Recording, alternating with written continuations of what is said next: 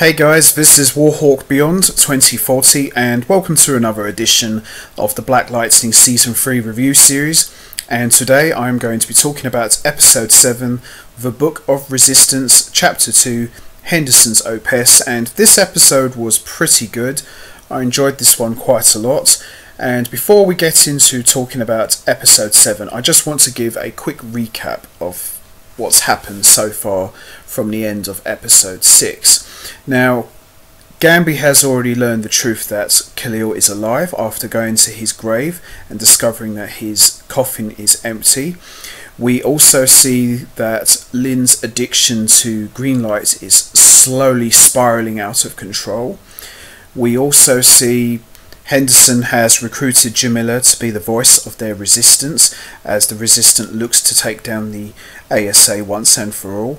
And also, we saw everybody in Freeland's dealing with the aftermath of Tavon's death. So there was quite a lot going on in this last episode. So, with that all said, let's get right into it. Let's talk about episode 7 The Book of Resistance, Chapter 2 Henderson's Opus. So, as we start off this episode, we see things aren't going well for Grace, as we see her medication is not working and she's shape shifting out of control. We see her in a child's form when Anissa finds her and she helps her with a relaxation technique to help calm her down.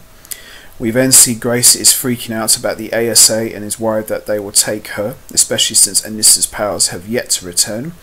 Meanwhile, at the Pierce house, Jennifer looks at old photographs of Khalil when Odell texts her. Hmm. Meanwhile, Gambi confirms that Khalil and the ASA agent Painkiller are one and the same, and he's called Lynn to his bunker to get access to the pit so he can access the organization's mainframe. At the church, the resistance tries to form their next steps with the ASA closing in on them. Jennifer goes to meet Odell, who is apparently still alive and well, but instead meets the acting director who reveals Odell was shot but he is not dead. There you go. Can't keep a good villain down, that's all I've got to say. The acting director grounds Lightning and tells her that she can't use her powers because of the Markovian threat.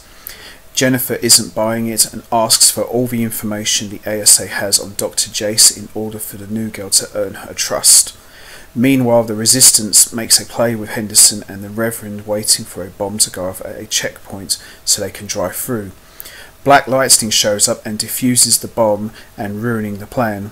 The next day, Henderson confronts Jefferson and they fundamentally disagree over how to deal with the ASA situation. At the pit, a new doctor flatters Lynn and the acting director shows up while she's working with one of the stabilized metas. She wants them to be functioning at 100% so Lynn demands access to all of their files. The acting director grants it but just for the green light metas. At school, Jennifer and Brandon are talking when a Markovian attack drill starts and the pair duck into a safe place together. Jennifer tells him that she can help him find Dr. Jace. At the church, the ASA comes to break down the door, which is technically in violation of the law, but the children are not there, they're all hiding at two bits. Anissa calls Jefferson to her place and asks for his help escorting children out of Freeland. Jefferson disagrees with her work with the resistance, and Jefferson focused on his ideologies, but Anissa really needs his help. She's worried about Grace as she's still injured and she needs him to step up as her father and to help her out. At the pit, Lynn gets Gambi to the mainframe. In Freeland, the ASA continues their door-to-door terror of campaign and clashes with what appears to be Markovians hiding in a house. Black Lightning shows up and neutralizes the threat, much to the shock of the ASA forces, but when one of the ASA soldiers murders people, the acting director threatens Black Lightning by telling him she'll call airstrikes on the city if he doesn't back down. In the pit, Gambi discovers that indeed Khalil is alive and well and is working with the ASA. It turns out it's a lot more complicated than that. Khalil is more than just alive. The ASA keeps him in stasis and has a chip in him that mostly controls him. So that's why Khalil is doing the things he's doing because he's being controlled with a chip in his head. Interesting. After confirming his memories are still intact, Lynn wakes him up and he knows her from his files, but he's still very, very cold. Gambi asks him to state his recent missions and he reveals all of his atrocities, including the murder of his mother, which we saw a few episodes back. Lynn returns him to stasis and is determined to save him against Gambi's advice. She tells him to leave. He reveals he has now given her administrative rights to the ASA network. Jennifer tries to find out what happens when her and Brandon's powers start to emerge, but he wants to know what she knows about Jace, which is nothing, so he kicks her out. Anissa takes a teen form Grace to Black Lightning so he can get her out of Freeland. At the bar, the Reverend doesn't trust Black Lightning and monologues, but ultimately they move with the ASA nearby. As Black Lightning attempts to get the kids out, things go horribly wrong. The ASA shows up and the acting director tells the soldiers to kill all of the kids. Black Lightning stands between them and uses his powers to fight back. Anissa wants to go and help but Gambi won't let her leave his bunker. Black Lightning gets all of the kids back but Grace runs away so Black Lightning leaves a girl named Natalie in charge while he goes to find her. Unfortunately, Grace turns into a leopard and attacks an ASA soldier, and then Black Lightning finds the mangled body.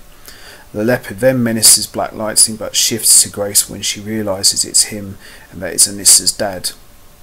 At home, we see Jennifer gets the Dr. Jace files from the ASA while in the pit.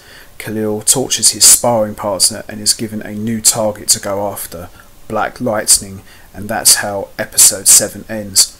Very good episode very intense once again, as we saw all of the kids being trying to taken out of Freeland to safety, and I enjoyed it. It was, it was really good. I'm just wondering whether or not we will see Black Lightning join this little alliance. Time will tell, really, but I like that the fact that everyone's on the same side and they all have the same goals, but they go about it in different ways. So that made for some interesting scenes and some great dialogue from everybody. But overall, I enjoyed this episode a lot. I thought this was very, very well done very, very intense. And I'd just like to quickly say that I'm really enjoying season three so far. I think season three has been really, really good. But not to give too much away, the ride's far from over we're just getting started and that's going to be for another video for another time. So I'm going to wrap this up now. What did you think of episode 7? Did you enjoy it?